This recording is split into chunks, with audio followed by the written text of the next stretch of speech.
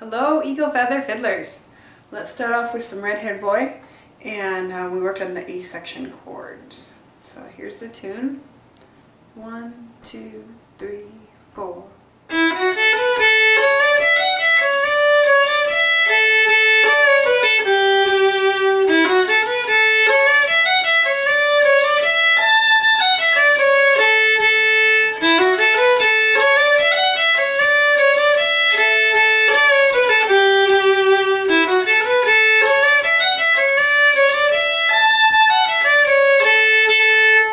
the A section. The piece is in the key of A. And the first chord, therefore, is usually A, and that's true this time. So start on an A chord. Then we're going to get our four chord in, slipped in there, which is the D tunnel. We'll go right back to the A. Um, and then we'll continue on and finish with the G. Ooh, the 7, the faraway one. That's the first half of the A section. Then we'll go back to our A, it's very similar. D chord, the 4 chord. And then A, finishing with the classic 5-1, which is E, A. So sound like this.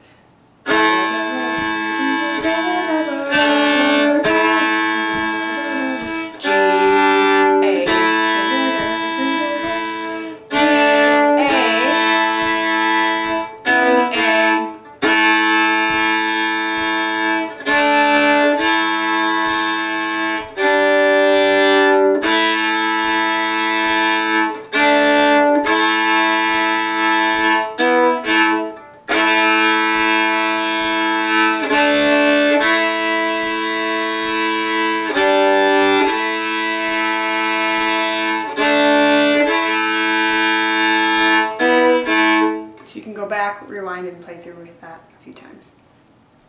Then we started a new tune, a waltz. Uh, the waltz is in three with the main beat on one. We did a little practicing, dancing the waltz, so you can show your parents that. And then um, we started the Tennessee Waltz. We have some lyrics with it. Hopefully you will uh, insert your own fun words for those lyrics and we'll create some new ones for next time I see you. And um, the tune is in G, so we'll change the pace. We're going to start on the G string and we use a lot of the G notes, so G chord notes. G, B, and D. And then G, B, and D here. Those notes will come in a lot.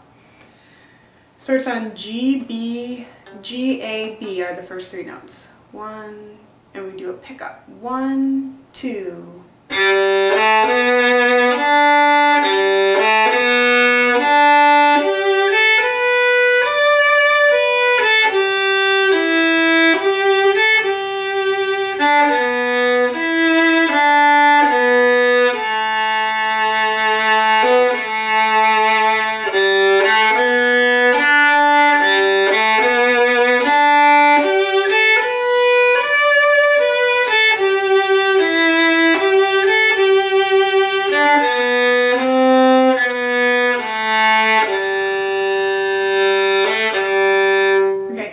Section. We actually only learned the first part of the A section, but you are welcome to try the whole thing. Here it is, slow down. One, two.